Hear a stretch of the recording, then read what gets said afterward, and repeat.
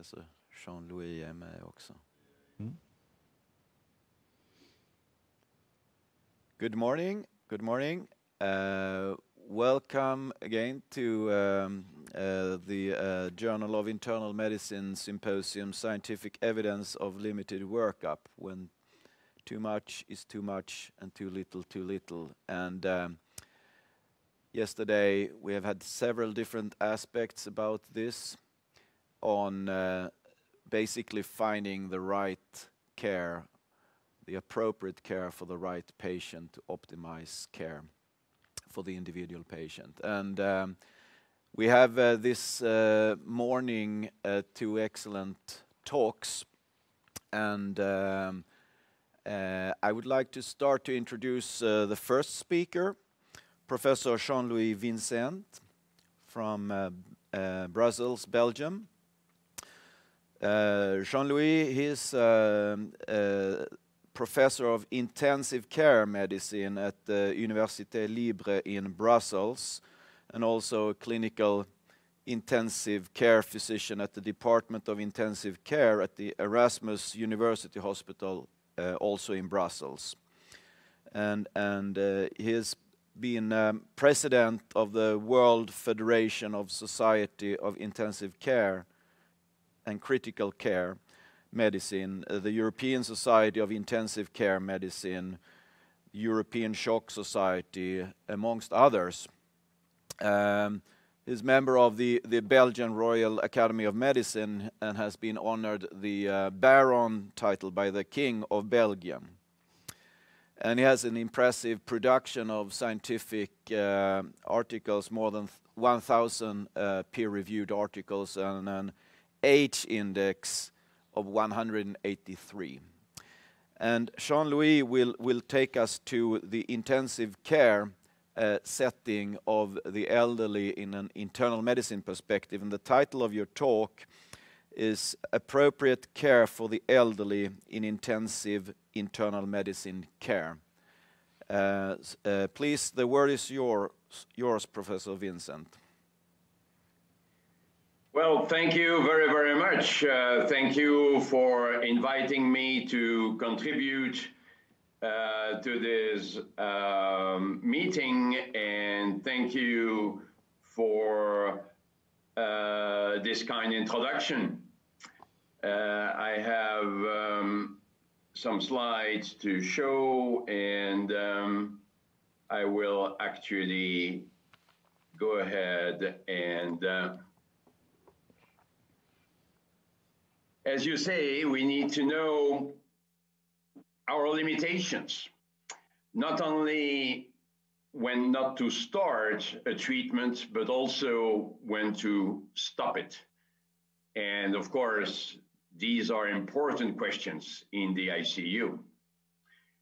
I guess we all agree that we would like to end our life without pain, peacefully, surrounded by relatives and friends in our favorite place. We should be able to know when it's approaching, and we would like to avoid life support. Life support should be applied when there is a chance of recovery, not just of life, but quality of life. And this is one example among thousands of a patient who was clearly dead. He had cardiopulmonary resuscitation, didn't work. We put him on extracorporeal membrane oxygenation. He was in severe cardiogenic shock. And here he is, quite a while later, and he still has a tube for feeding, but that will be removed soon. But when we see reports like this one from Canada, speaking about very elderly patients, older than 80 years of age, in 24 Canadian ICUs. Actually, a number of these patients stayed in the ICU for quite a long time. One half of them died, and the authors conclude by saying that this raises questions about the use of critical care at the end of life for the very elderly. We must be aware of that. Of course, elderly people can come to the ICU, but they will die, as we will all. And, you know, William Osler used to say that pneumonia is the old man's friend because it's a cause, of death in elderly people. And we have to realize that the, with the progress in medicine, we often have to decide when someone may die. It's not a surprise. This is a paper from Belgium in the New England Journal of Medicine showing that death is preceded by at least one end of life practice in about one half of the cases. Oh, in Belgium you have euthanasia. No, no, no, euthanasia is very rare. Of course, we have a law allowing euthanasia in special circumstances, but you can see this concerns about you know, 1 2% of deaths. So it's more a decision to stop or actually not to start a treatment or increase opiates, sedatives. The doctor is not always against death. We should focus on quality of life. As I tell my students, we should never forget that the goal of medicine is health. We are healthcare practitioners. And as we know, health is a physical and mental and social well being. So we are there to provide well being. It's usually preservation of life, but not always. Sometimes we have to give up. So the situation has changed in intensive care medicine from the period where we wondered what we can do to go to what we should do. Today, intensivists have become healthcare planners. They need to deal with older patients with comorbidities, multiple hits, and readmissions. You know, when you look at these stairs, it's in French, but it's easily understandable. We are up there, just below the guy with the keys at the belt. Intensive care stay is just one period in uh, a long process. There is a before the ICU and there is an after the ICU, with sometimes long convalescence and sometimes persisting organ failure. The ICU should not a place where people come to die. Are we always reasonable? What we call withholding, of course, refers to what we shouldn't do. It could be organ transplantation already relatively early in our lives. It could be no dialysis, no mechanical ventilation. That's the evolution of uh, aging and disease. So I like the word proportionality of care because it's not a yes or no, it's proportional. If you are 80 years old, should you undergo a chemotherapy for a cancer? Yes and no?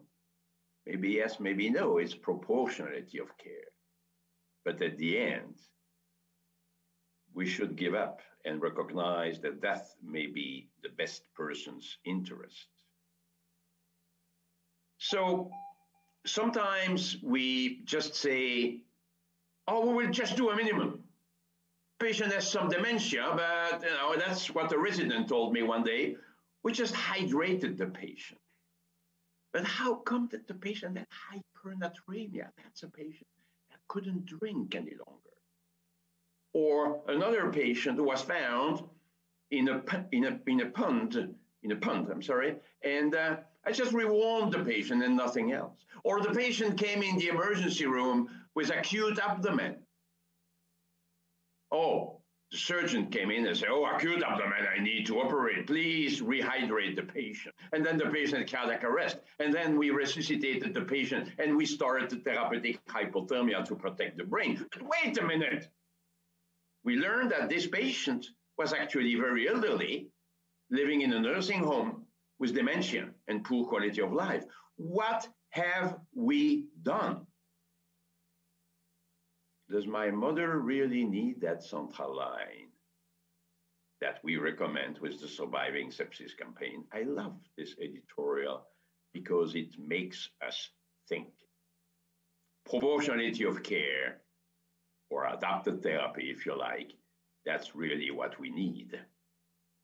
Otherwise, the Anglo Saxons would say it's futile therapy.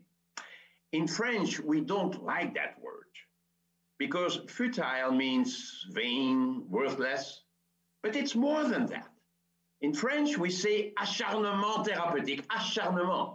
You can hear carne, the meat. It's the animal that doesn't want to leave his prey. So it's stu- stubbornness. That, that's part of the concept of acharnement thérapeutique. But Hippocrates was already referring to that when medicine was just trivial. Physicians should refuse to treat those who are overmastered by their disease, realizing that in such cases, medicine is powerless. This in French is just to say that in Belgium, our uh, bioethics committee referred, as you can see at the bottom here, to the disproportion of means and costs with regard to the results. Proportionality. That's exactly what we need. So ICU admission is already, of course, a big question. We should admit in the ICU people who have some physiologic reserve. Of course, there should be a severe illness, but also we should have effective interventions. Even in younger individuals with terminal cancer, sometimes there is no possible intervention. We should not bring that patient in the ICU. Likewise, if it's dementia, advanced Alzheimer's disease. I like this um, statement here.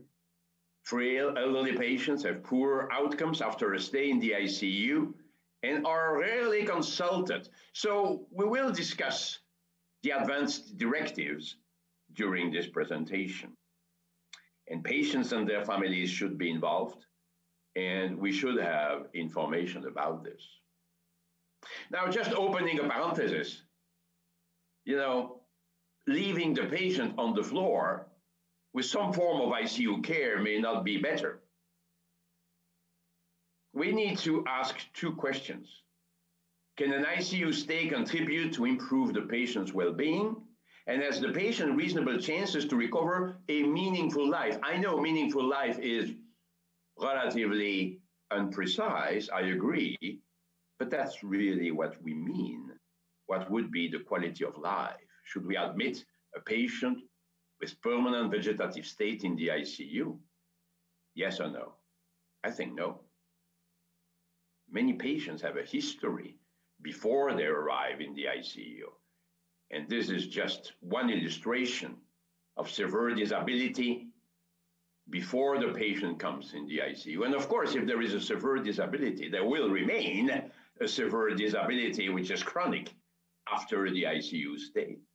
So we need to consider that and take this into account as it is important when we speak about the prognosis what will be the quality of life after the ICU stay. I like this paper, which is an inquiry that asked people, would you rather be dead or have this or that impairment?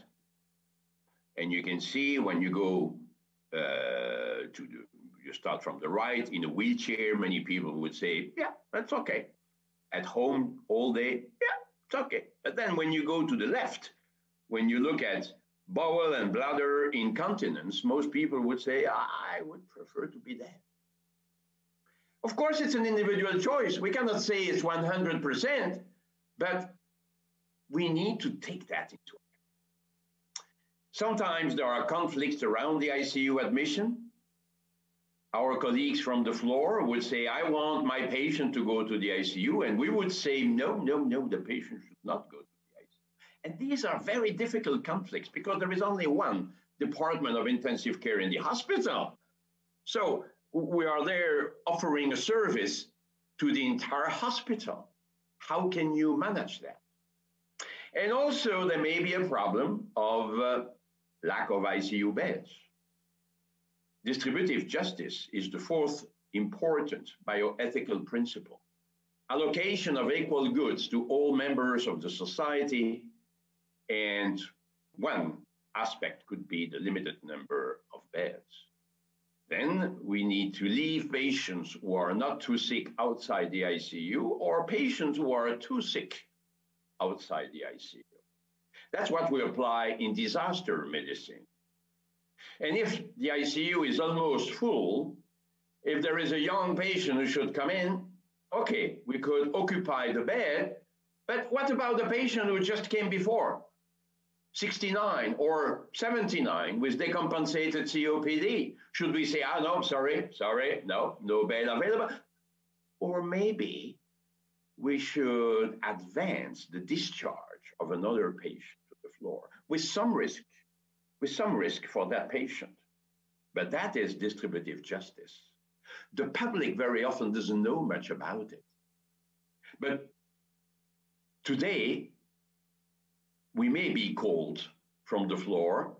Do you have some beds available? Yeah, it's okay. Oh, good. Let me tell you. I have here a 78. Or if we say, we are so busy. Oh, oh, oh, okay, okay. I had an elderly patient here, but we will try to manage. In some countries, as I alluded to, they may apply life support on the floor. In Israel, in particular, it's not uncommon to use mechanical ventilation on the floor, especially in elderly patients. That's not desirable, of course. But think at the COVID 19 crisis. We need to say one word about it, of course. And that's uh, what I spoke about 10 years ago, I think, or five years ago, I don't remember, when I spoke at the academy about epidemics. And then, of course, the reality came to us. But would you start mechanical ventilation in an elderly patient with frailty, with comorbidities? Maybe not. So we need to select triage. I don't like the word, but that's the word we use. Triage patients before ICU admission. Read this from a, an English newspaper. A 90 year old woman dies from coronavirus in Belgium after refusing a ventilator and telling doctors, I had a good life. Keep this for the younger. But some patients cannot express that. We need to have a plan. We need to discuss a plan in advance because without a plan, we could do like in Italy at the beginning, in northern Italy, they just admitted patients in the ICU without triage, and then the ICUs were full. There was no room for the other ones.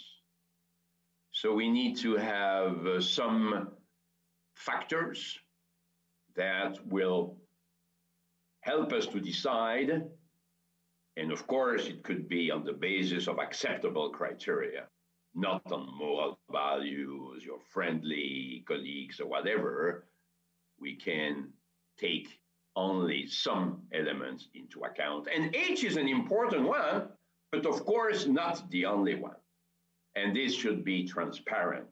So we could use a score in this type of uh, situation in pandemics.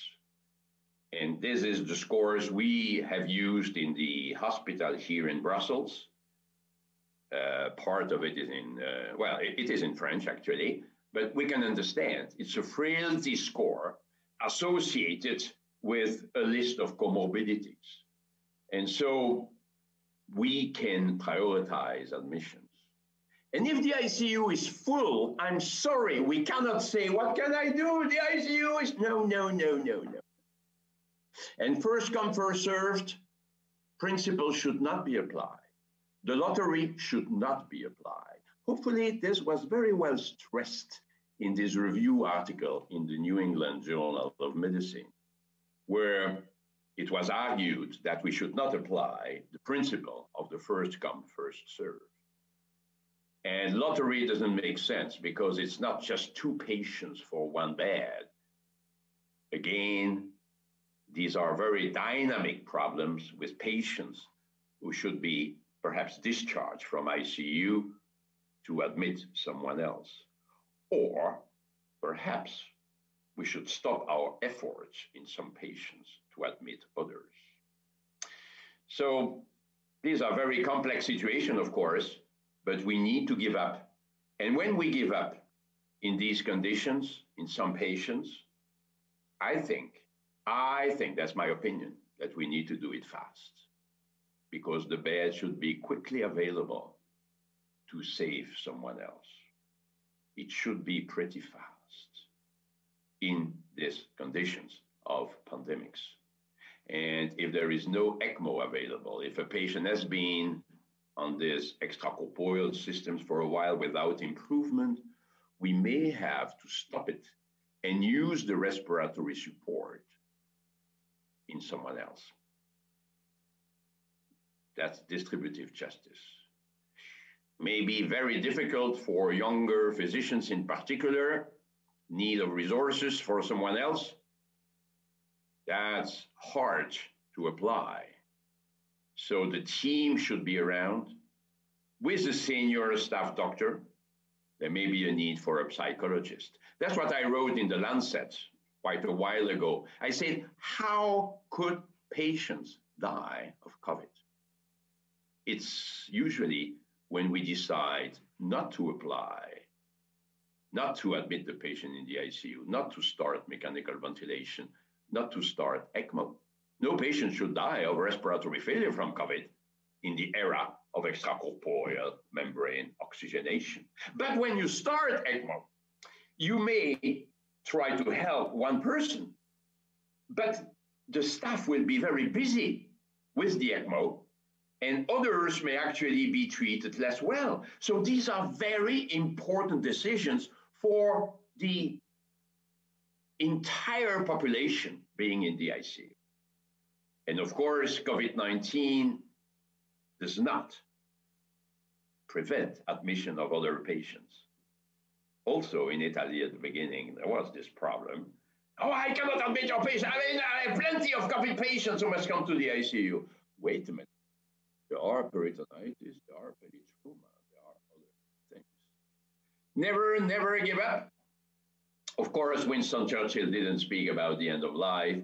Let's speak about how patients die in the ICU. We know now that in more than 80% of the cases, it's because we put some therapeutic indications in the vast majority of cases. Sometimes people die despite our full support, but it's relatively uncommon. So I already spoke a little bit about withholding, and the typical withholding decision is not to do anything in case of cardiac arrest. Do not resuscitate. Or, as I introduced in Belgium many years ago, not to be resuscitated, NTBR. Cardiac arrest would be a natural death. But it's not sufficient. In some other patients, we may decide even not to intubate the trachea or not to start dialysis or not to transfer to ICU because the patient is in advanced state or very old. Or sometimes we decide not to do any escalation, DNE, do not escalate. And this should be clarified. When there was the, the paper charts, we used to have, and I introduced it, a green sheet where all of this was written and signed by a senior doctor. Sometimes in the ICU, we need to withdraw life support, stop mechanical ventilation, stop dialysis, stop vasopressors. Can we do that? Is there an ethical difference between the two? Well, in the Western world, we usually agree that there is no difference. And ethically, we have this illustration. If we refer to mechanical ventilation, withholding mechanical ventilation would mean not to use mechanical ventilation from now on. Withdrawing is also the decision not to use mechanical ventilation from now on. So it's the same therapeutic decision for the next minute or the next hours. So in Belgium, we had this statement already 20 years ago. There is no ethical or moral difference between withholding and withdrawing life support, even though withdrawing, stopping, is sometimes more difficult practically. Yeah, let's acknowledge that. But it is just as acceptable not to start than to stop mechanical ventilation, artificial ventilation, as we used to say many years ago. Because if this was forbidden, first of all, we would hesitate to escalate because we could not go back. So that would harm people. And also, we would keep our ICUs busy with people who are just in a hopeless situation. And also, withdrawing may sometimes be better than withholding. You know, if we decide not to intubate the trachea, and if the patient is in distress with a mask, which is not very helpful, it's terrible. Or if we decide not to use vasopressors, but the patient is profoundly hypotensive, maybe it could be worse for the organs. So, symmetry is a one way road. And we were the first to propose the ICU test or the ICU trial, as some others said later. It means that we would admit a patient in the ICU to try to do something just for two or three days because we hesitate. This patient is elderly, with a past history, but you know, if we withhold, the patient will definitely die. Whereas if you start to do something, to try something, maybe the patient will get better. Otherwise, we will stop but we must be allowed to withdraw therapy. So, in a way, it gives more chances between brackets to the patient. But it's not easily applied, and we should, of course, speak about it with the relatives. So, what about terminal sedation? Something that we very often apply in Belgium because we think that the patient could be maintained on mechanical ventilation to avoid any suffering, and we would administer large doses of uh, opiates and uh, sedatives. May be preferable to prevent any discomfort. At the end result would be the same. Again, with our Belgian society, we say it's difficult to establish a coherent distinction between increasing analgosedation, even substantially, while maintaining life support and the discontinuation of life support. We went further with our, with our Belgian society. We published this paper when I was president of the society, and we said, you know, in Belgium, we do regularly shorten the dying process of some patients who are at the end of uh, their life, even in the absence of discomfort. Even in the absence of discomfort. So that's, I think, a very strong statement. And uh, of course, we discuss it, and it should be understood by the relatives. But the relatives should understand that the final decision is not theirs. In the US, it may be different. In Europe, or at least in Belgium, we feel that this is a medical decision. Some people don't like it, and this is a recent response to a so called consensus paper where they say the doctor should never hasten death. We say, wait a minute. Isn't it ethically advisable to prevent any suffering at the end of life? Oh, in Belgium we have a law on euthanasia. No, no, no, no, this is not related to the law on euthanasia. On the contrary, we do not have much to protect us in these many cases where we hasten death with medications. What we could call terminal sedation. It is allowed in France, but it is not explicitly allowed in Belgium. But I think we must put some limits to our treatment. We should say that withdrawing may be necessary, and too often doctors cannot decide who will see tomorrow, who will see tomorrow. That's not a good idea when everybody understands that this is the end. And this is a terrible paper published. I mean, it's a, it's a good paper, but it's a terrible story published in the New England Journal of Medicine the last century, indicating that nurses actually did the job when the doctors didn't want to do the job. It was something really terrible. Of course, it was anonymous, but it tells a very frightening story. So we speak about quality of life, we should speak about quality of death as well. There are many international differences about this, but I see the time is running. But clearly, when you go to the north of Europe, this is much better accepted than in the south of Europe. And I could you know, show differences also with Japan, with Turkey, with other parts of the world. I think it's very interesting. In some countries, you just cannot withhold. Every patient who needs ICU should go to the ICU, even if it's terminal cancer. In some countries, you cannot withdraw. Israel is a good example where they had a law putting timers on ventilators. So the ventilators would stop by themselves after three days, four days, if the patient not improving. So nobody stops the respirator. The respirator stops by itself because the timer is on. In some cases, you can withhold and you can withdraw, always in some cases, of course, but you should never hasten death. That's in the Anglo Saxon countries.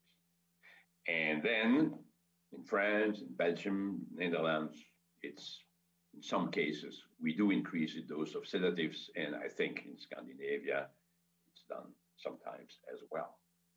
In France, there was the big story um, about this, but ultimately they got a law which does not allow euthanasia, but it allows the terminal sedation. And the ICU doctors have been very, very pleased to see this Claeys Leonetti law now five years ago. And in, Europe, in Europe, we have this statement it may be decided to withdraw or limit a treatment. Quality of life should be taken into account, but they say the use of sedation is a, a disputed issue, which is true. It is a disputed issue. But more and more people refer to the right to die around the globe. So when I was president of the World Federation, we tried to give some principles we never stop care. We never withdraw all treatments. And when we withdraw treatment, we do not indeed stop uh, care. And uh, someone could defend or present the patient's opinion about this. Death is too important to be left to doctors. Of course, other team members should be involved whenever possible, the patient should be involved. Now, we often refer to the relatives, but the relatives, it's not very well defined, I'm afraid. And, um, you know, sometimes one relative thinks one thing and the other one thinks another thing. So, and in any case, it's not the relatives who should decide. They should tell us what the patient would have preferred. Sometimes the relatives want everything to be continued, even if there is vegetative state. And of course, it's difficult to go against these wishes. We need to talk, we need to discuss, but we would never go against uh, what the patient would have uh, uh, liked. Otherwise, these decisions should be made by a consensus. It's not unanimity. No, no, no. We should have these discussions, very open discussions at the bedside, and that would be the way to uh, decide. I will uh, only touch on autonomy at the very end to say that advanced directives, in my opinion, is sometimes misunderstood. It's important for people to tell what they would prefer, but it can be done orally to someone who could speak for them. But just writing it, it may not be a good idea. And I like this very recent paper showing that at the end, having written advanced directives does not change exactly what we do because it very much depends on uh, what the patient has.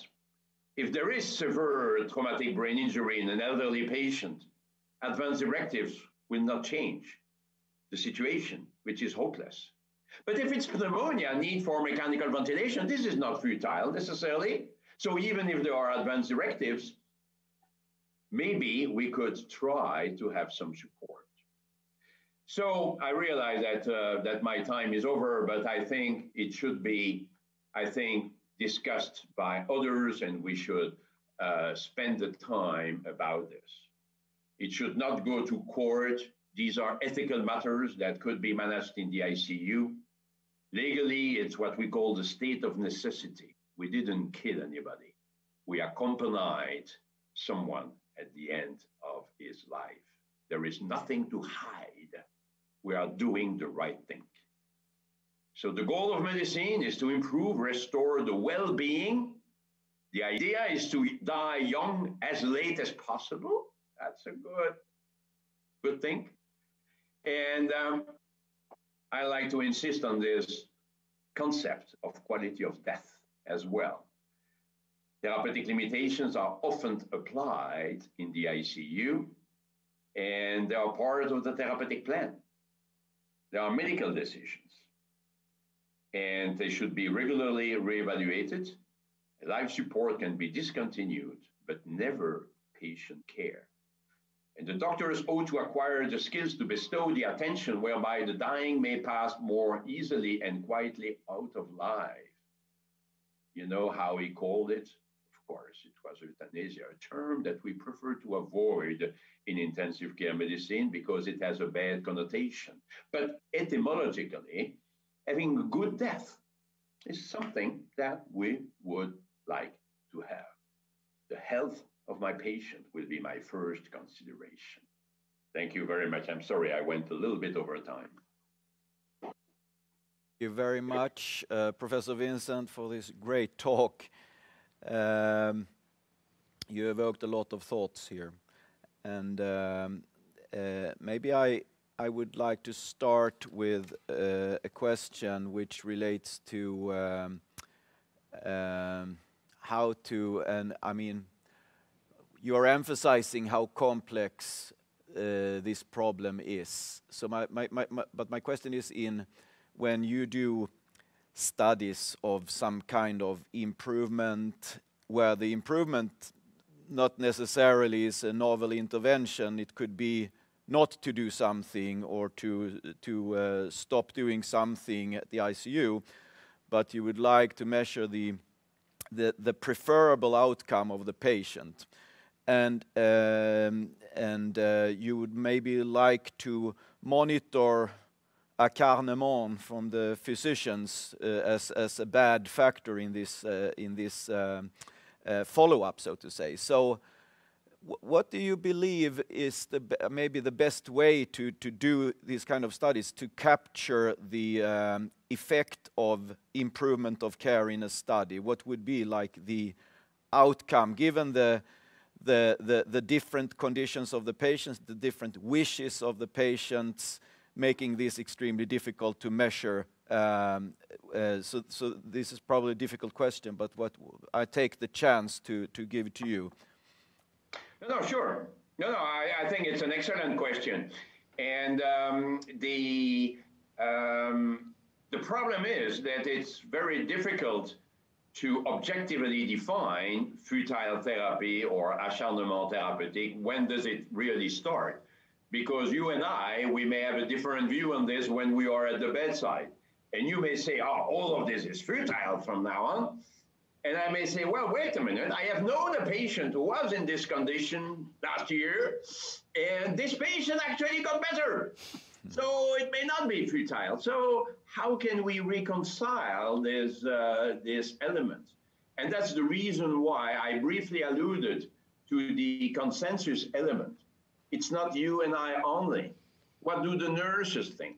What do the physiotherapists think? Physiotherapist. Well, the physiotherapist spends some time with the patient trying to do some exercise, and they can sometimes bring some important information about perhaps how the patient reacts to that, if the patient is not deeply comatose, of course. Um, and uh, of course, interactions with the family uh, is very important because futile therapy may not be there if the patient has always wanted to stay alive. And if the patient was really against any form of uh, uh, therapeutic limitation for religious reasons or whatever, versus another patient who would have said, Oh, please, if I am in a bad condition, let me go, let me go. That's, of course, very different. So uh, I represented this image which I often do, the patient is at the center of our preoccupations. And there are doctors, nurses, physiotherapists, psychologists, relatives. We are all together trying to make the best for the patient, for the patient's well being. And it's from that that we should have the best decision. And how can we objectivate it, as it, was part of your question? I think by an inquiry about satisfaction. Satisfaction of first the relatives. How did they think we manage things? Are they happy with the end of life process? And of course, we also need to inquire how all the staff members um, really like or dislike uh, what we have done. And, you know, it's a common experience in many ICUs, including ours, that the relatives are usually happier about the care in the ICU when the patient died than when the patient survived. Can you believe that? But that's true. The families come to you when the patient died and they say, you know, you provided wonderful care. You tried what we could, what you could. But then there was a quality of death. Whereas when the patient gets better, they tend to forget about the ICU. That was a bad period. Oh, no, no, no, it was terrible, you know, with all these machines. Oh, no, no, no. So it, it's quite interesting to see that um, the, the, the family members should be satisfied with the care we provide in all conditions, of course, but sometimes they are even more grateful when the patient died than when the patient survived. You know, I, am a bit provocative here. Of course, they are very grateful when the patient did better, but uh, towards the, uh, the, the ICU staff, they usually express more gratitude in these very sad conditions when the patient didn't make it. Mm. Thank you. Yeah. Uh, I have a question. It's impossible not to touch on the COVID-19 pandemic, and uh, I've been following the results from all countries around the world with great interest the last year. Uh, and you in Belgium has been substantially struck by this pandemic, just as Sweden has. Uh, and if we, if you only look at the death rates uh, within each country, uh, Belgium stood out as one of the worst hit countries in the in the beginning and also towards like the middle. Uh, do you think that the way that you have brought forth the ICU, thinking of quality of, of death, distributive justice, the way that you have been managing to see who can actually survive this and not, have affected that, changing the ways of work, so to speak? Well, yeah, that's a, that's an interesting question, but very complex one because, as you know, uh, many patients who died during the first wave in Belgium were indeed elderly living in nursing homes and um, dying in their nursing homes uh, because they were uh, clearly at the end of their lives. Uh, in terms of uh, uh, ICU beds, we have not been in a too bad situation because we have a relatively reasonable number of ICU beds in Belgium. We have much more ICU beds than in the Netherlands or in France, for instance. And so we sometimes it was very difficult to find a bed, but we did not have to make too tough decisions uh, when uh, when uh, when it was a, a question of ICU admission. So triage was not too bad. It was not like in Italy or in London or in New York uh, later or in uh, Madrid or in Paris. And still now in Paris, it's quite difficult, as you know. So, uh, but your question very specifically is also, did you, do you give up perhaps um, a, bit easily in, uh, in or more easily than in other places? Well, perhaps because we have this system where we very openly discuss these issues, but I think it's not very different in, um, in, in, Sweden. But I do not have the data to demonstrate it. But I think in, uh, in Scandinavia, people are quite reasonable as we are in Belgium in terms of therapeutic limitations. And so, indeed, when there was a patient uh, very elderly, again with some dementia or advanced arteriosclerosis, severe heart failure uh, coming in, either we would not admit the patient in the ICU or we would do an ICU test and we would keep the patient for a couple of days in the ICU. And if there is no substantial improvement, we would actually give up. Mm. But that's something that in the south of Europe, and I'm thinking at the north of Italy in particular, when there was this terrible, terrible situation um, they were not prepared for it, not prepared ethically either, because it's difficult in a hmm. country which is very Catholic, where ending life support is a very difficult thing. If a nurse goes to the police mentioning that, it could be terrible because at court, the doctors could definitely be found guilty for stopping treatment in a patient. So that's an impossible situation. Mm. So hopefully, in Belgium, we did not have uh, such a complex uh, situation, but it could have occurred if the wave uh, would have been even worse with uh, somewhat younger uh, people. Of course, we could have uh, had this as in New York or in mm. London. Yeah, yeah, I, I think. I mean, I think we have quite the same system as you do in Belgium. One of the questions that we've had in, in Sweden has been if we get a full ICU, and I, I saw that you you showed the uh, clinical frailty scale as one of the measures on how how to determine which will have a, which patient will have a successful outcome or better or worse probability of a success, successful outcome. Do you have you been using that as a tool for when to decide which patients should be dismissed or stopped or withdrawal, uh, do you use those tools as well in that order, not only for admission, but also for discharge?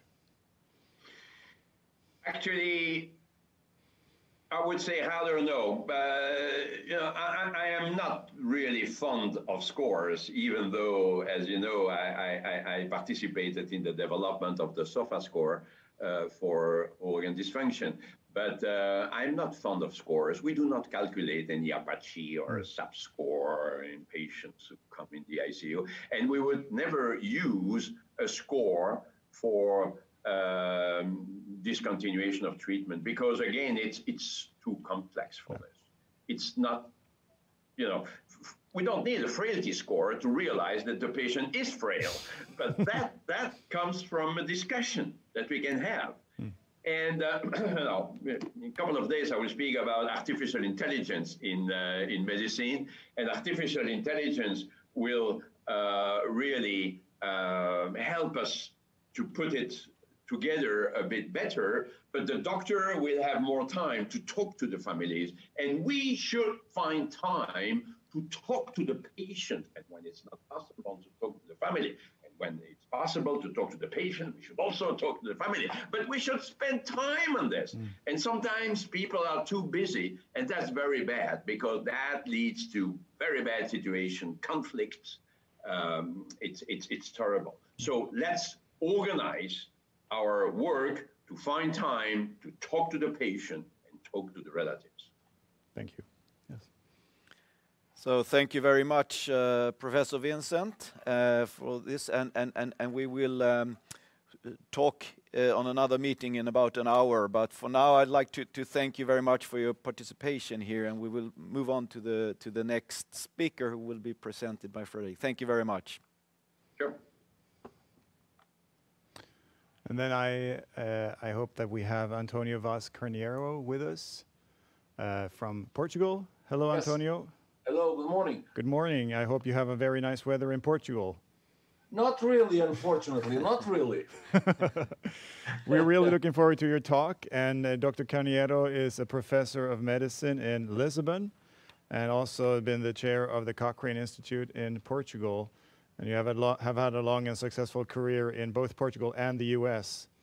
Uh, and we met a couple of times in the uh, European Federation of Internal Medicine. So with no further ado, Antonio, the floor is yours, and you're going to talk about modern healthcare and what we actually do for the patients. Thank you. Thank you very much. Um, hello, good morning, everybody. I'd like to start by thanking uh, Dr. Olle Melander by this kind invitation and all the organizing committee of this symposium to have me here. It's a it's an honor and it's a pleasure to be here with you, even though we are just online. Uh, and I would rather be in Sweden. Uh, I'm afraid this is, has, to, has to be done. Now, uh, in the next 40 minutes, I'll, I will I will try to um, to address a few points uh, that are actually of concern with this symposium. The title that uh, I'm going to share this. Let me just share the screen with my talk. And now let me ask you if you, can you see my slide? It's coming. Yes. Yes. Is that okay? Okay, great. So the title that was given to me was Multimorbidity in Modern Medicine and Are We Really Doing It for the Patient? And so, but, you know, there are several ways that we could address this question. Uh, but I, you know, given the general topic of the of the, of the meeting, I decided to go in a specific way, and then I'd like to, in the end, to have a, a couple of questions and dialogues with you. Now, first of all, I don't, I don't have any conflict of interest uh, to to give this talk, and these are my views and not of the organization of which I belong, which is the University of Lisbon School of Medicine and the Cochrane Portugal. Now, let me start by reading you a paper that was published in 2015. The objective of these researchers was basically to analyze mortality and treatment differences among patients admitted with acute cardiovascular conditions during date of national cardiology meetings in the US compared with non-meeting dates. So it was a retrospective analysis of 30-day mortality among Medicare beneficiaries hospitalized with acute MI, heart failure, or cardiac arrest, in other words, high risk patients, from 2002 all the way to 2011, and they compared during dates of two national cardiology meetings compared with identical non meeting days in the three weeks before and after the conferences. Now, basically, between the meeting and non meeting dates, the baseline risk of the patients was the same okay? They have the same demographic characteristics and they and the same existing medical conditions. Uh, they, they, uh, they were also uh, in terms of risk stratification very similar. Patients with acute mi and heart failure the, using the arc risk tool pretty much the same baseline risk. So we could say uh, that these are very very similar patients in which the only difference is between they've been treated uh, between the times that the cardiologists are away in the meetings and the, the, the on, on uh, the time that the, uh, the hospital is running basically normally. Okay. The patient characteristics were also similar between meeting and non-meeting dates for high-risk patients for the teaching and non-teaching hospitals. Okay. And so they look, basically what they're saying is let's see if there's any change in mortality in high risk patients admitted during, at, at a time where most of the interventional cardiologists and cardiologists are away as compared when they are working on a, on a routine on every day.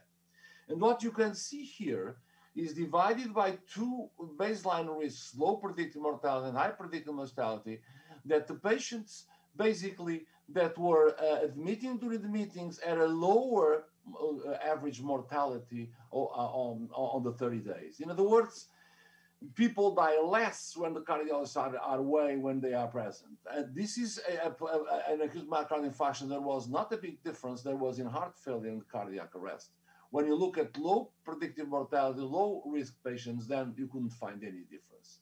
And the authors just conclude that high risk patients with heart failure and cardiac arrest hospitalized in teaching hospitals had lower 30 day, mortality when admitted during dates of national cardiology meetings. And high risk, I didn't discuss it, but high risk patients with acute MI admitted to teaching hospitals did receive less PCI, but interestingly enough, without any impact on mortality. So there you go.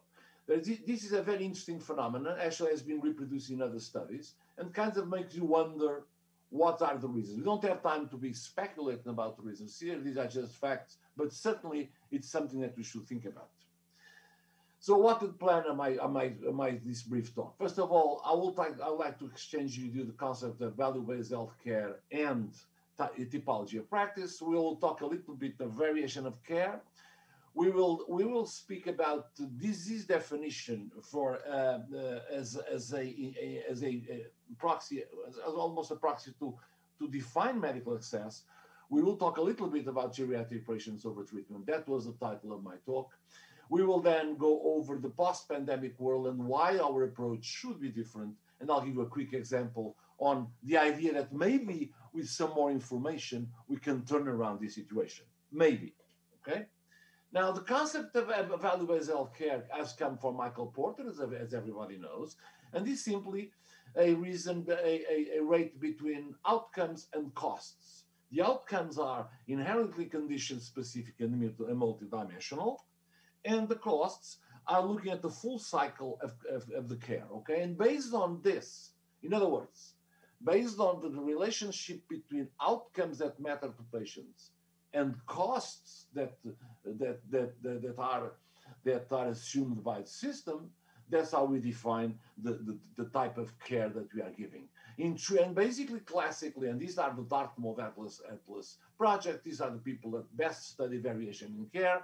They define this in three different types of, of, of, of care. Underuse, in which this includes discontinuity of care and lack of systems that would facilitate the appropriate use of these, uh, these services. In other words, this is the service, the, care that everybody should have. The misuse, in which we have several options, but not only we take the, be- the best option and the topic of this meeting, the overuse. And this is the step. And if you don't want to, to look at this this way by classifying this way, we have we have we are in trouble. We cannot figure out exactly how to do it.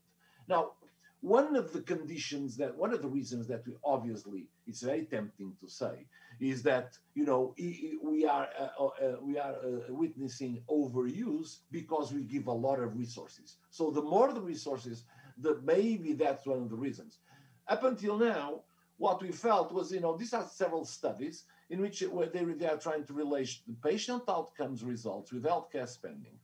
And, and this goes from very low levels of healthcare spending to very high levels of healthcare spending. And as you can see, there are several points on this curve. As you increase healthcare spending, the quality of care also increases. And this is the, the point A that represents high value care as spending leads to big gains in outcomes. As you go forward with spending, the point B, and, and this one is, for example, public sanitation, vaccinations, etc. As you go further on, on spending, the, the point B represents intermediate levels of gain based on additional spending. We are not gaining that, that much anymore. And that goes, for example, a lot of what is our management on an everyday basis. But if we keep putting money in the system, then the curve flattens out. And uh, point C represents low value care in which additional spending is not associated with significant improvement in patient outcomes. Now, these authors didn't do this that last part. This was me just to show that if we really keep pushing the financing of the system, then we start getting deleterious effects. Mortality goes up, the morbidity goes up. And this is really very interesting because I would say that probably most people are deeply convinced that relation between funding and quality is a direct relation. The more funding I, I'll, provide to the system, the higher the quality of care. And these studies show that really this is not really um, the, the, the, the reality. So the question is, where do I stop? And of course, I'm not saying that we shouldn't do this. Of course, we should do this. But just to make sure that we are, when we are allocating resources, we have to have in mind this, this type of graphics. I keep hearing in my country that, you know, Portugal should invest more in health. We are investing too little. Okay, but what, where, on what, what field? And that this is really important uh, to go forward because we know that the, our impact of our of our actions, we know that uh, in terms of, uh, of the results that we expect, uh, the low, the higher the risk, the better the therapy. In other words, the, the, the high risk patients, we should go ahead and treat them. They, they, they don't really give us too much problems. There's a net benefit of diagnosing and treatment and treating those patients correctly. The problem comes of the low risk patients. In other words, the problem comes when the patients have a, an excellent prognosis, and then I'm trying to interfere on that baseline risk, trying to improve that excellent prognosis. And that's the point that we, in which we can classify them in low value. In other words, it's a small net benefit compared with arms. And so this classification of baseline risk is really important uh, for us to, uh, to, to, to, look at this problem, this global problem of overuse and uh, of resources. Now, Variation of care, as you know, is been defined by you know diagnosing and treat them and treating patients differently where the, when their, their clinical presentation and their baseline risk is the same. All right, and this has to do with so uh, with a lot of, of, of, of, reasons. But what we are looking at is the same patients in with the same diseases with the same baseline risk, so same severity, are, are diagnosed and treated differently from part from country to country and within the same country from the different parts of the same country okay? This is the oecd uh, report precisely on this subject that was published in, in a few years ago in which they went to look at a whole bunch of, of, of, uh, of uh, countries uh, uh, looking at several measures of, of utilization. And what i'm showing you here is we have these are the countries that, that, that they reported and, and we are looking at medical admission rate. Now, medical admission rate is a very important measure for, uh, for uh, um, service utilization, for resource utilization. And certainly, we, we should think that the criteria to admit somebody should be specifically enough and rigorously enough to not see what we are seeing here, in which the standardized rates for 100 population are widely dispersed within the same country. These are different regions than you see. That we can see that we, we in Portugal have a lower standardized rate, but even in that lower standardized rate, there is a significant uh, uh, um, um, variation. And when compared, for example, in Germany, we tend to admit a third of the patients that Germans admit. But even the Germans have quite a variation between the parts of Germany. I'm just giving you these examples because if you're going to look at this you're going to find this pretty much on every single study ever done on variation of care. And, and variation of care has nothing to do specifically with, with, the, the, the, volume of resources being very high. No, no, we can find this on low income countries as well. Now, when you look at specific intervention, high complexity specific intervention like the PTCA, and you look at standard again standardized rates of population by 100,000 population, you also see huge changes. All right, there are not one single point. If the criteria to apply PTCA would be carefully followed, then they would all cluster around an average, and this variation will be very small. But when you look at the PCA, this is exactly what you see and uh, and and you ought to see all in all countries a, more or less wide variation. Now, what about in my country? When you look at all a whole bunch of, of, of, interventions in care, you always find the same thing. Around an average, there's a wide variation in both senses. In other words, we are either overdoing it or, or underdoing it because the, the, we shouldn't expect these big changes in, uh, in, in interventions, okay? Now, when you look at this graphically, and, and, this is my country, it's a small country, and as you can see when you look at the, this is the geographic variation, okay, between 2002 and 2010, and these are medical admission standardized rates. And what You can see is there are parts in Portugal that admit twice to three times more than others. In such a small country, we are about, about 10.5 million people. In such a small country, it's very puzzling that certain areas of the interior are admitting two to three more times uh, uh, patients than the average, the national average. And we need to, to think about this because this is a, a, a, a, a, a point that, that help us to think about the, the overuse, the underuse, and the misuse. Because we have to say that if, this, if these admissions here near Spain are appropriate, then these admissions are well inappropriate because people should be more in the hospital. On the other hand, if we believe that the right, the right uh, standards rate are correct here, then we, sh- we should recognize that we have a problem here. We are way over admitting people to the hospital. And as you know, the hospital is not a good place for one to be. We, we only have to be in the hospital when we need. There are plenty of dangers in the hospital, and of course, for, for many, many years now, we try to, to, to discharge our patients as fast as we can.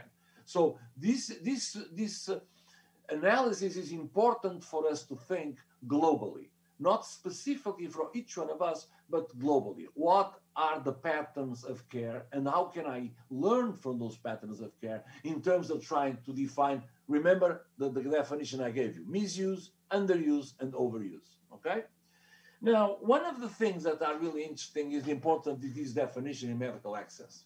Of course, we, we, we, we, treat people, that's why here for, but we treat people because we have, these people have diseases. And we say they have diseases because we have patterns and we have data to classify them as such, okay? Right? Uh, now let me bring you some. Is this the right way? Of course it is. But let me get, let me raise a few problems about disease definition and change in prevalence of disease. Okay, this is a study done by the Australians, and in which they aim to identify guidelines in which disease definitions were changed to assess whether any proposed change would increase the number of individuals considered to have disease, whether potential harms of expanding disease definition were investigated, and the relationship between the authors and industry ties.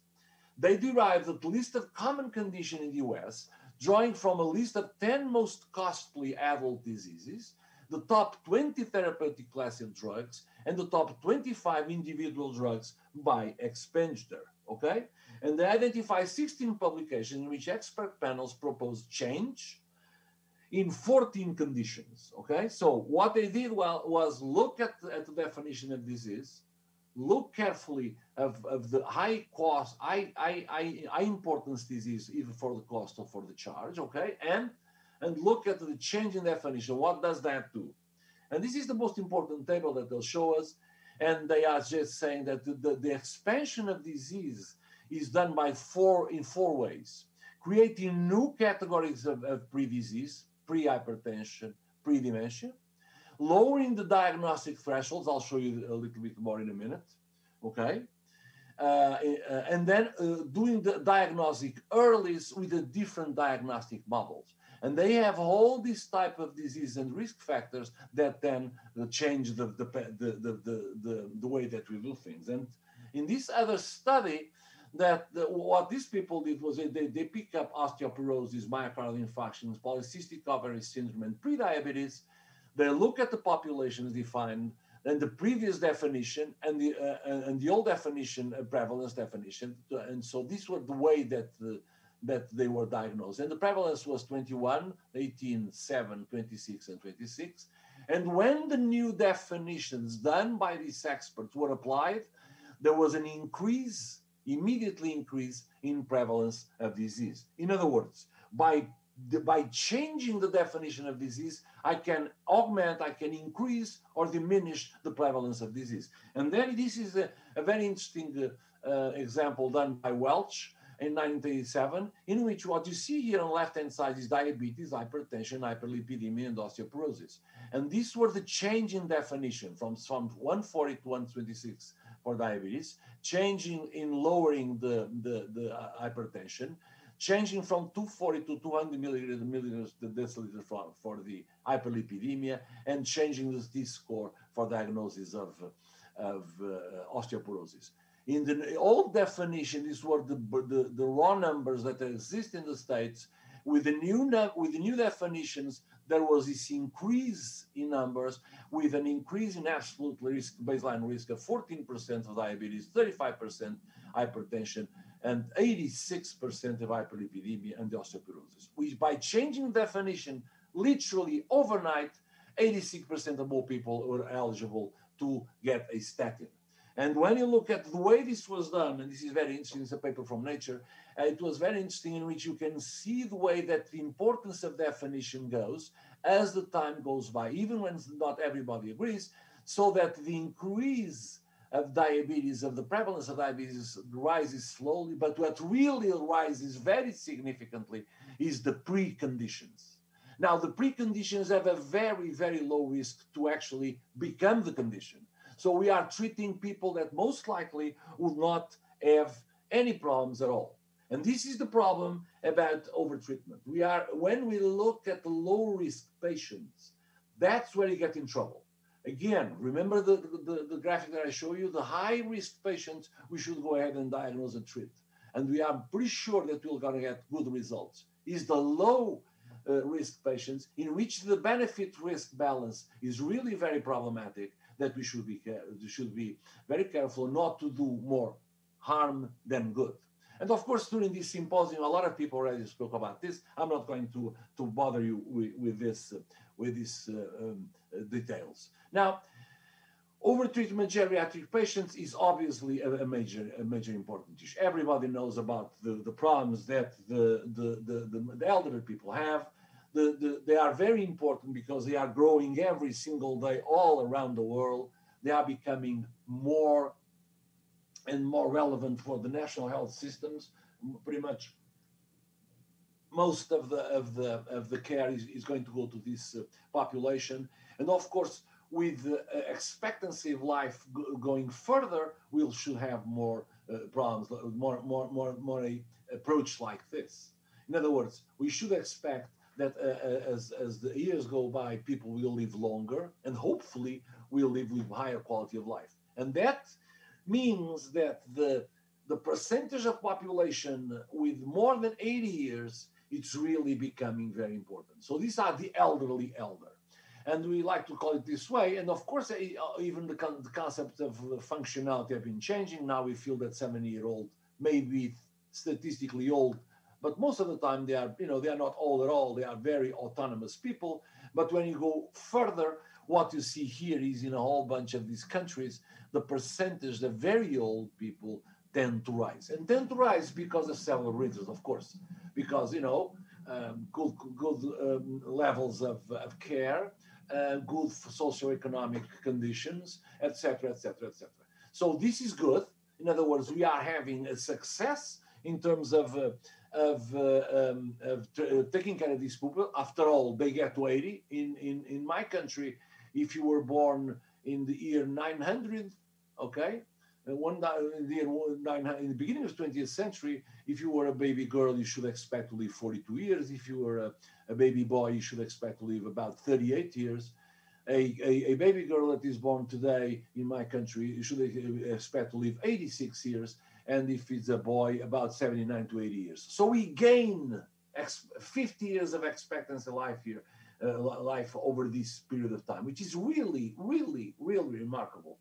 Again, a lot of preventive measures, a lot of socio-economic development, but the, it's the drugs, it's the, the, the intervention, it's the medical intervention that actually makes the difference. I need much more drugs when I'm 80 years old than when I'm 40 years old. So this is good.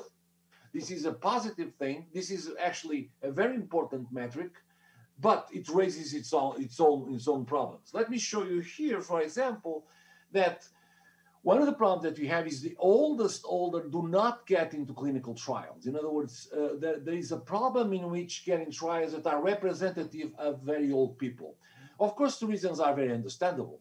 They are the people that are frail, that they have high, high, high death rates. Nobody wants to design a, a, a clinical trial and then see quickly start pe people dying quickly. So we, we understand that. It's a question of safety as well. But in so doing, we don't have information to actually treat appropriately these people. And we have to extrapolate from younger groups that were studied into the old groups. And what we see here is basically uh, uh, uh in uh, the, the, the, the, difference between treatment drugs that were approved on clinical trials, in which when you're young, most of the drugs are carefully based on the best evidence. But if you go to older people, you, you, you lose this kind of, uh, of reality. Most people here are, uh, not treated with drugs from, from clinical trials precisely because of the reasons that I, I just mentioned, okay? And of course, when you look at different uh, risk factors uh, for old people, we know that the older you are, the more comorbidities you're going to have. That's a law of life. There's no way that you can escape that. The older you are, you may be a very healthy uh, old people, uh, old person, but you're still going to have comorbidities. So we are trying to do, and sometimes we are tempted to do, is to treat everything. You know, in other words, I will look at my patients, I'll try to look at what is normal and abnormal, and I'll try to, to correct what is abnormal. Very simple. Does this have consequences? This is a study uh, published in Journal of American Geriatrics Society in which the, the authors trying to uh, respond to questions if there was an association between mortality and glycemic control blood pressure levels and cholesterol levels in patients with type 2 diabetes who are, who are older than 80 years, okay? This was a, a cohort prospective population-based study. These authors evaluated the population-based primary care database in the US, where they identified 26,000 patients older than 80 years old and with type 2 diabetes. And in this database include a lot of stuff, a lot of good information and they look at it also for the comorbidities, clinical data, comorbidities, number of office visits, in other words, the, the, the utilization of care, classes of prescribed med medication, smoking status, etc., etc., etc. This is a typical study, big data study. And what did they, they found? Well, approximately half of the cohort were women, one third had coexisting cardiac disease, and about half had diabetes for more than 10 years. So this was a high risk patients. If you look at the baseline risk of these patients, we know that they are not, they are high risk patients or moderate to high risk patients, okay? About, uh, approximately 10% of the patients were older than 90 years, and there was a median of two years follow up, during which about 4,500 of these patients died. So it's natural. The, the, the, attrition rate of this population is very high. So, you know, we, we have to, to, to think about it when you look at treating old people what is the possibility, what is the life expectancy of this person, okay? And uh, they uh, estimated the mortality adjusting for, for a variety of factors, including age, sex, and duration of diabetes. And uh, uh the, the, their conclusions was actually similar to other studies. The relationship between mortality and glycemic control by, uh, used by HbA1c and blood pressure levels follow the U-shaped pattern with another for the glycated hemoglobin between 7 and 7.5, and for blood pressure between 150 and 90, and 155 and 95. And for each of these, the mortality progressively worsened with lower HbA1c and lower blood pressure levels. And the relationship between total cholesterol and mortality was more curvilinear, with the highest mortality associated with the lowest cholesterol levels and then a sympathetic decrease in cholesterol level increase. So you see, it looks like we are overdoing it here. You know, everything else being the same, if we overtreat these people, we tend to, in, to increase their mortality rates. And that and these are the type of studies that we need. And I'm not going to show you another one. And this paper, this this was the you know the well-known ALLHAT LLT uh, trial, in which they try they they, they, they examine statin treatment among adults aged 65 to 74 and 75 or older in the in the um, ALLHAT LLT. Okay, Then the post-hoc secondary data analysis were conducted for participants 60 years or older without evidence of atherosclerotic vascular disease. So this was somewhat moderate to, to low risk people. They, uh, uh, they identified 2,867 ambulatory adults with hypertension and without baseline atherosclerotic cardiovascular disease. And they, they, they, they, did, and the study was uh, between uh, administrating pravastatin and usual care. And the primary outcome was all-cause mortalities, and the result was the odds ratio for all-cause mortality in pravastatin group versus the usual care group was 118 for all adults 65 or older, 108 for adults 65 to 74, and 134 for uh, older adults 55 or more. And interestingly enough, the coronary heart disease event rates were not significantly different from, from these two groups. And this is really interesting. When you look at the, at, at the graphic the depiction of this, what do you see? You see that when people are younger, then the, the, the, the, the, the intervention with pravastatin is pretty much similar with your usual care when you're younger. But when you get to be older, then there is a significant difference in which the incidence of treatment will actually will, will increase the cumulative event rate. And this is really, really puzzling, and in a certain way, should give us pause to think. What, uh, the, at the end of the day, are we trying to do? And although there are several systematic reviews looking at this uh, at this uh, area, and I didn't bring them, of course, because we, we, will, we will have no time to you know to present them. But there are plenty of systematic reviews consistently showing this. We still see a lot of very old people uh, getting their statins and and trying to be treated aggressively. And so this should kind of, uh, uh, of, of, of open our minds to the next step. And the next step should be deprescribing.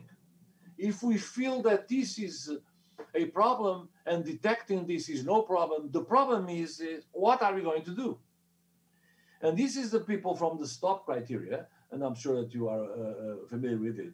Let's try to answer the question Are potentially inappropriate medicine as defined by STOPP criteria associated with avoidable adverse drug events in older people with acute illness? Of the 600 consecutive patients older than 65 admitted for an acute illness, nearly 25% had one or more adverse drug events. Two thirds of the drug events contributed to the admission. So the iatrogeny of older people is really, really, really high. Why? But they, it's also avoidable. 65, 69% of that would be avoidable. So patients taking medicine within 65 rules of the stop uh, of the stop scale criteria were significantly more likely to experience a drug event.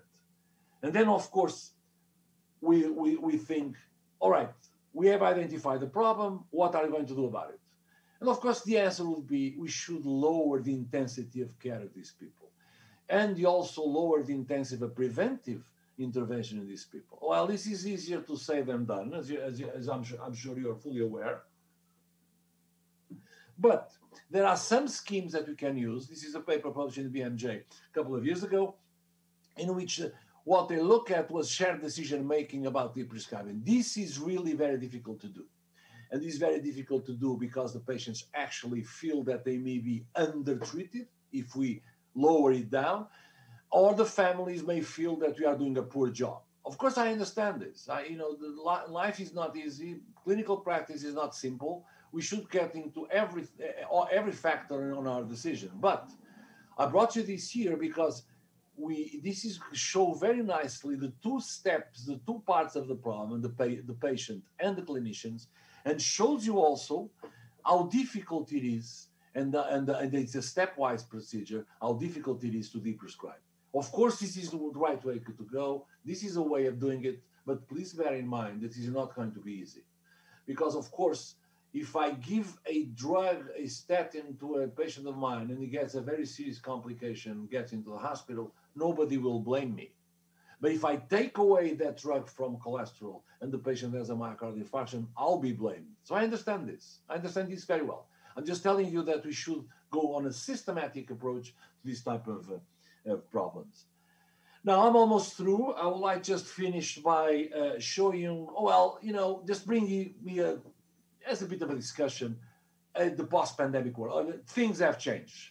The world has changed, and now I think we have to face, in a, in quite a different way, the reality. And I think we have an opportunity here to diminish the low value practice. Let me just, you know, off the top of my head, some of the problems that I see. First of all, we are going to have a huge problem financing healthcare. We spend so much money with this pandemic that it has to impinge on the possibility of financing appropriately our national health systems. Okay.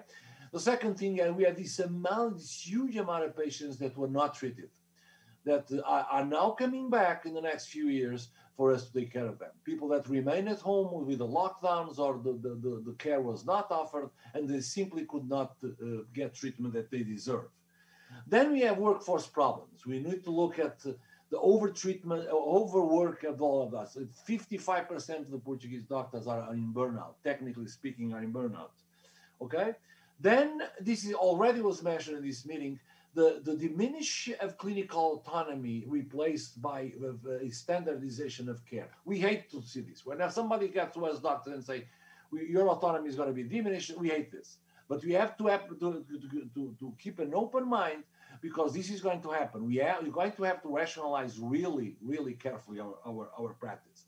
Then, of course, the, the, the, the the, techni- the, the, the technicalities and the inequity and and and is it's going to be a problem. We, we should look into these specific methodologies to, to see how can we do things better.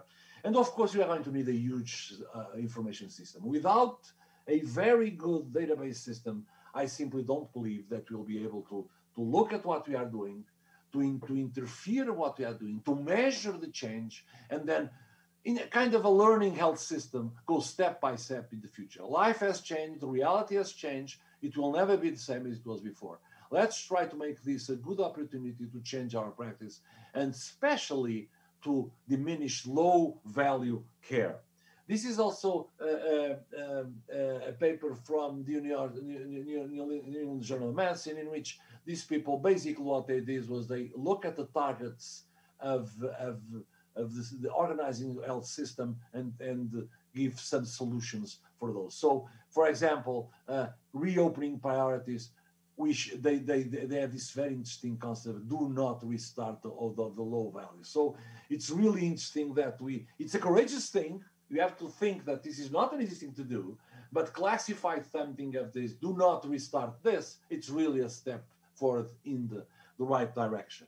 I'm finish. Uh, I'm finishing with, a, with with supporting an idea that probably most of you think. Well, in order to solve all these problems that we've been discussing here, maybe information should be enough. If I have high quality scientific information and if I know how to communicate it, my problem will be solved. Well, maybe yes, maybe not. But let me bring you here this uh, this uh, problem that is really very very a very central problem, which is uh, you know uh, COVID nineteen uh, vaccine safety. I went the, the way that, that should this thing should be looked at is a global way on benefit risk. But if you pay attention to the media, everybody is concentrating only on the risk.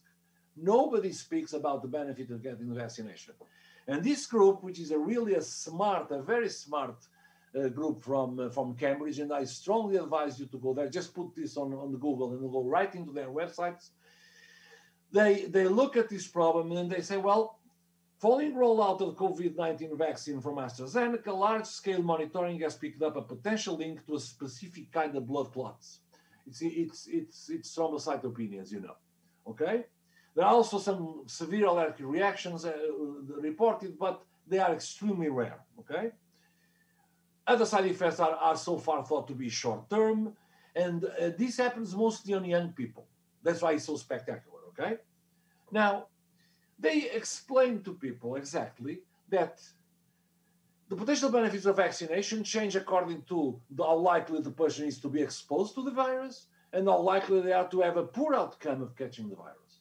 Okay? And and the potential benefits accrue every day that the person is vaccinated. So the vaccine doesn't stop lowering my, my, my risk at one Wednesday. No, eh, from that from the next days and weeks and months, the, the, the risk will be lowered. Okay, And in order to show this to people, we they look at the potential benefits to incidence rates of disease and the potential harms in numbers of cases of blood of the blood clot. So as you can see, this is this is a balance, a, a careful balance between benefit and risk. And only doing this way, we can have a clear view of how to use this intervention. Okay. And on their graphics, there's fantastic graphics. What you see here is on low risk people on left-hand side, is potential benefits. On the right-hand side, is potential harms. This is mean that 0.2 a patient, 0.2 patient will have a clot, which means five patients for, for every clot. And when you compare low risk, then for every patient you have 14 people that are uh, prevented to go admission. People don't get disease and don't get intensive care. But on the right, on the high end, again, we already talked about this. On high risk patients, the impact is really huge. For any a small uh, in increase in clots, there's a fantastic and brutal impact on admissions and on death. So basically, this is what I would like, what I thought of, of, of, presenting to you. Thank you for your attention. I thought that we could just, you know, over give an overview of all these problems. Look not only at overuse, but also of uh, the way that we think about these things. And I appreciate, I really appreciate uh, your attention. And of course, I'm uh, available for any uh, any eventual uh, question that you may have. Thank you very much. Thank you very much, Antonio. It's a pleasure to listen to you. Uh, uh, we have a couple of questions. Uh, one question would be, in the in the wards of, of ordinary medical facilities in Sweden, we usually see patients that are quite old, and they are on substantial medication, of course, probably the same in Portugal. What are you taking on? Some of the choosing wisely uh, recommendations are not to prescribe, for example, statins to patients who have a uh, short life expectancy. But after the age of 80, and if you're in a hospital in Sweden, you ha probably have somewhat shorter life expectancy than the general population, of course. Do you think that you, we should stop or just uh, put take take them off the statins, or take them off some PPIs or some blood uh, hypertensives, uh, antihypertensives? Just just do that, or should we personalize care for every individual, also over the 80? Yes, we should personalize care for each uh, for each individual. We should uh, we should use the data that is available to us on the big studies uh, and then take a, close look at this. I, from the top of my head, I think the numbers are um, in order to save a life when you're older than 80, you should treat uh, with hyper, with cholesterol treatment or with statins treatment, you should treat 10,000 people. So you have to understand that we, we, we can get information from the groups, from well-designed studies, but at the end of the day, we should look at every single uh, patient of ours because they may be different. If they were the same on the inclusion and exclusion criteria from the clinical trials that study them, then I feel safe of following the results that clinical trial actually produced. If by any reason they are different, then my certainty of in treating them lowers. And I have to do an individual risk assessment. We always have to do an individual risk assessment. And as I told you, it is a difficult thing to do. People, you know, patients and families intend to interpret that when we suggest that we should stop some drugs, that either uh, we are trying to save money or we don't care about the patients anymore. So there's also a, a, kind of information and education for the general population about this that uh, that is very important. After all, most people think, what's wrong of giving you an extra drug to my patient, to my, my father? What is the problem? So, so it, it, it's a parallel thing information from clinical trials, and individual risk assessment. Yes. Thanks, Antonio. I, have a question on um, the, data that you showed. Um, I mean, on um, variability of uh, different kinds of, of healthcare. I mean, how likely and how long you're hospitalized or specific interventions like PCI and so on. And obviously, when you look at the differences between European countries, there are, uh, I mean, there might be many uh, country-specific factors and traditions that, that explain this difference. But I was fascinated about the wide distribution even within Portugal, for example. So my question is, do you have any data from these studies to suggest, you know, what are the main explanatory factors for these differences? For example, can you identify Uh, urban-rural differences? Can you identify demographic differences? Can you uh, identify socioeconomic uh, differences across your country that that to a certain degree explain these differences? Or what do you believe cause these differences? Yeah, thank you for the question. We have the data um, concerning that. And one, and of course, it's a multifactorial problem. There's not one, there is not one single reason for this to happen. But there are very you know, important ones. First of all, the local culture. In other words, what what do I mean by this? The local hospital has leaders, and those leaders normally are responsible to establish standards of care. And when the leaders have different opinions about what the interventions are, then you're going to easily find wide wide differences between approaches to the same kind of patients. You're going to detect high degree of variation in care. In my country, for example, on on on uh, antihypertensive therapy, the the highest used drug on the northern of the country is different from the middle of the country, that is different from the southern of the country. Now we have a very homogeneous population, so the baseline risk for coronary artery disease is the same. Why these uh, differences? Mostly because it's a local uh, culture. The second thing is lack of information for the doctors.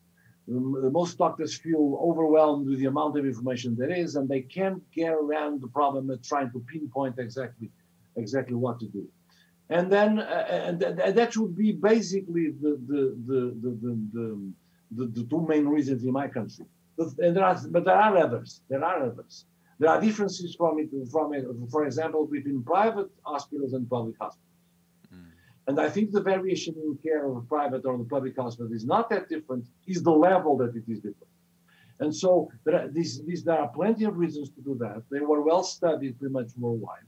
And the the most important thing for me is that they are very pervasive and difficult to handle. This is really difficult to change.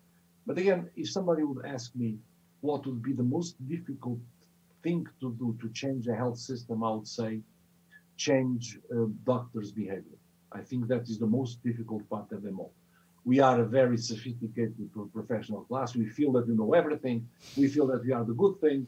We are doing the right thing. So we are not really open to a lot of information about to change our practice. But if we are, we should show the data.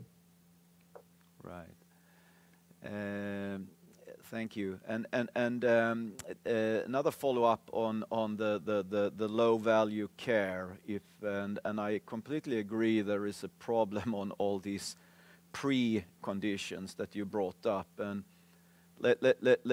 mean, just take pre-hypertension or pre-diabetes as an example. I think also the problem is that the fluctuation of uh, fluctuating. I mean, if if, if you're diagnosed properly with diabetes or hypertension, most likely you you will remain in that condition, even you know, you would have a high blood if you weren't treated or high glucose. But in this pre-zone, I guess there is a higher fluctuation. Um, um, so you you, the next day you might be completely normal, and, and, and that's the one problem in confidence for that pre-diagnosis or whatever we should call it. The other one is, of course, when you get up to large proportions of the populations and the patient finds out that uh, I'm one out of uh, 35 or 40% of the 50% of the population in my age group who has this condition, it might not be so serious, and it might actually give the opposite effect.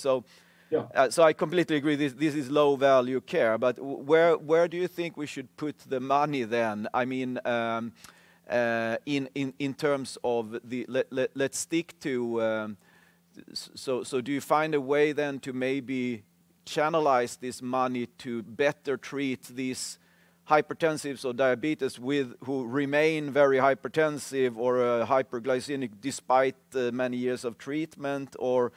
What do you think is the best way to to change from low low efficiency care to high efficiency care in this particular setting? Well, the example you're giving is fully diagnosed people. So these people are sick and need to be treated, period. There is no question about that. Uh, what I'm trying to say is that why do we say that pre-diabetes and pre-hypertension are probably non-existent? Is because less than 1% of these people actually will progress into full-blown disease. In other words, we'll assume the risks that a full-blown disease, diabetes and hypertension, will bring upon him.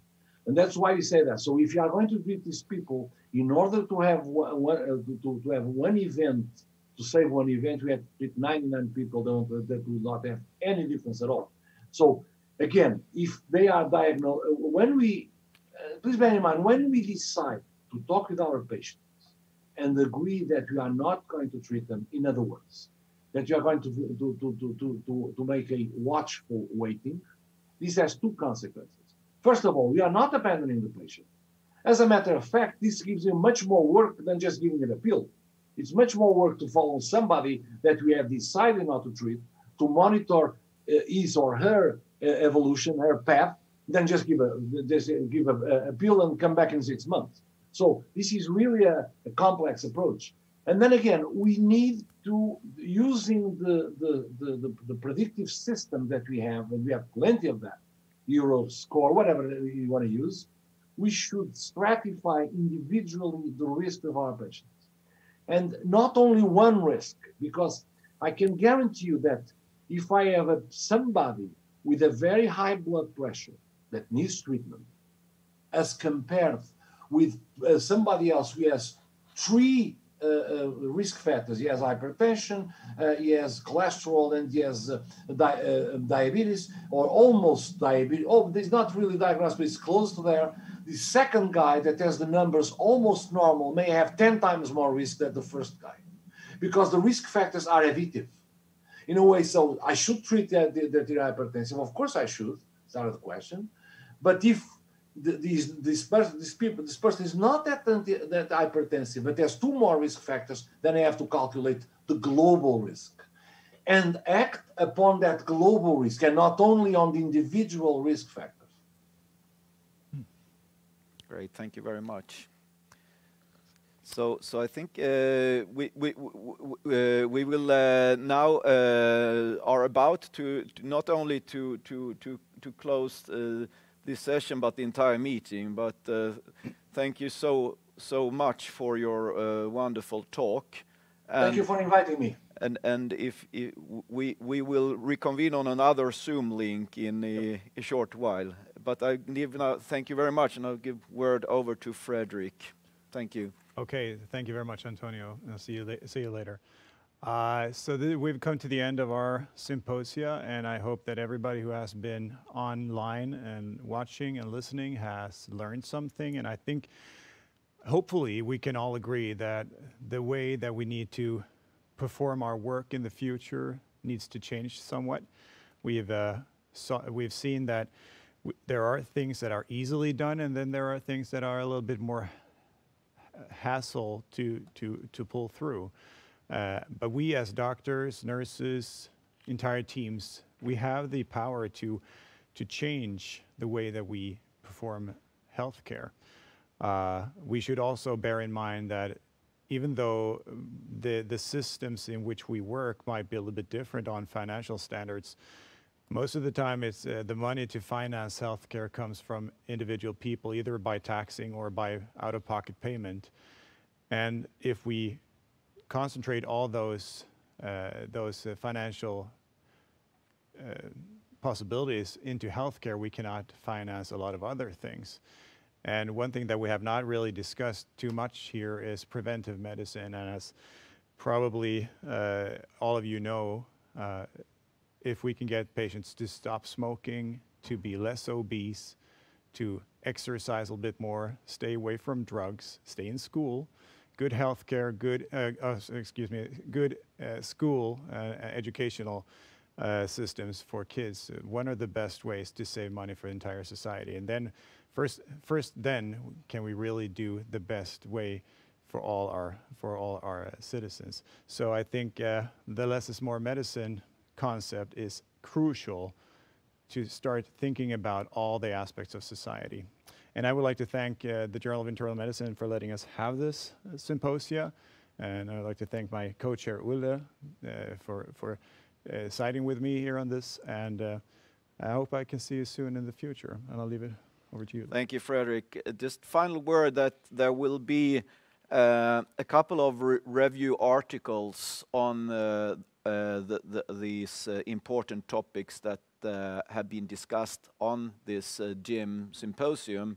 Of course, that uh, before they are published, that that will be in a, in in a, a couple of months from now. But please. Uh, uh, keep your attention on on the the JIM uh, uh, website for these articles because uh, I think this will be great reviews.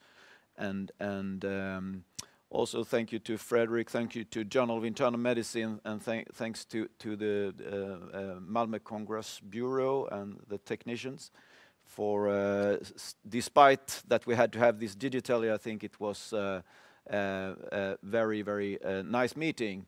So with that, I think we, we closed the meeting and um, a good day.